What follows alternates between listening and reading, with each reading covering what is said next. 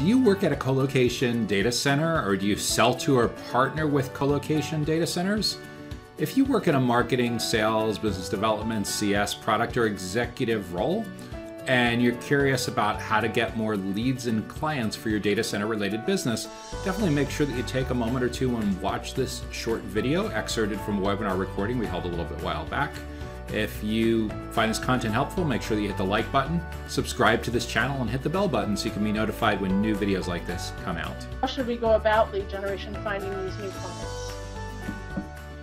Yeah, absolutely. That's an excellent question. And as, as we touched on a little earlier with the answer to one of the questions, as you'll see up there on the screen, SMART goals are critical. S M A R T, specific, measurable, attainable, relevant, and time bounds everyone can say, I want more leads, I want more clients, I want more revenue. How much more?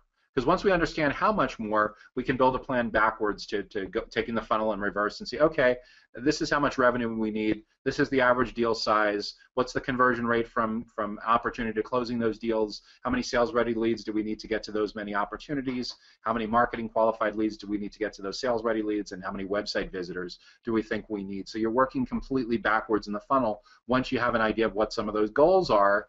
And just like when you're growing up and you're in school and you have like a three month project and you break it down into milestones, or for those of you that have been project managers at some point in your career where you take a massive project and chop it up into back in the day um, something like Microsoft Project. More currently, maybe it's something like um, Trello or um, or Jira or Basecamp or something like that, where we take something and we chop it down into dozens or hundreds of different parts. It's the same th- kind of thing with your goals. You want to make sure that you have goals that are specific to each stage of the funnel. You need to make sure that you have the right technology platforms in place to measure those. They should be attainable based on resources and past history. They obviously need to be relevant to the overall mission of what your company is trying to achieve. And one of the most important parts is the T, the time-bound part. We must have time-related deadlines to this. Otherwise, it's just a fiction, it's just a pipe dream, and it's really, really hard to go about improving your lead generation and going about finding new clients. But you know, once those goals are in place, set out to do your buyer persona research, and the buyer persona research will inform everything that you do going forward with your premium content offers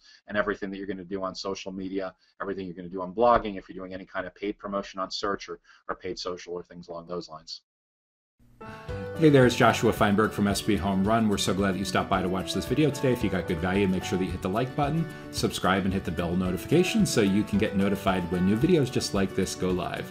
Thanks. We hope you're having a great day, and we wish you great success.